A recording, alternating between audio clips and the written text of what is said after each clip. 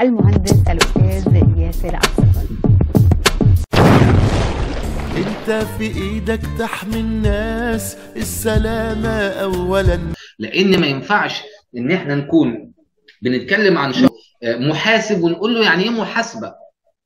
نتكلم مع شخص مسؤول ومختص بالسلامة نقول له يعني إيه سيفتي لما نقول له يعني إيه دا يعني في المحاسبة تعرف يعني إيه دائن ومدين صح؟ إيه الفرق ما بين الخطر والخطورة؟ الخطر أو المخاطر بنقول عليها هازردز أما الخطورة بنقول عليها الريسك المخاطرة. إيه الفرق ما بين الاثنين إيه الفرق ما بين الاثنين الخطر. ركز معايا في اللي أنا هقوله لك ده.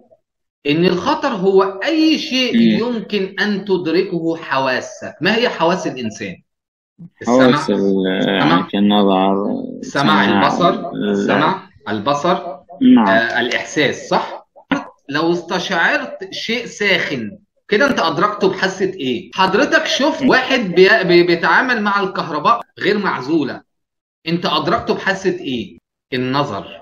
انت بتسمع ضوضاء عالية. أدركتها بحاسة إيه؟ السمع يبقى إذا الخطر هو ما تدركه حواسك. يبقى إذا تطلب الإدراك تطلب إن أنت تشوفه. الخطر شيء واقع موجود.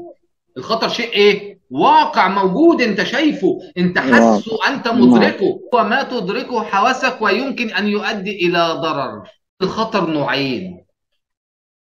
خطر مرتبط بتصرف الشخص اللي بنقول عليه unsafe act وخطر مرتبط بظروف البيئة اللي بنقول عليها condition يبقى اذا ال hazard ممكن يكون unsafe act وممكن يكون unsafe إيه؟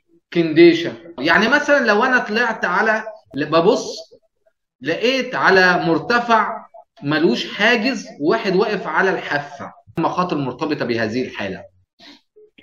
السقوط يعني. السقوط انت شفته؟ السقوط أدركته؟ لا.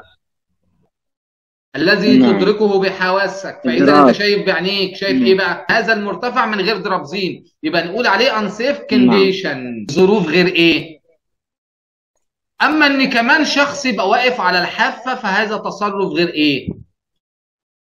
أنت آه، شفت نعم. الشخص وهو واقف صح؟ نعم. شفت المرتفع من غير درابزين صح؟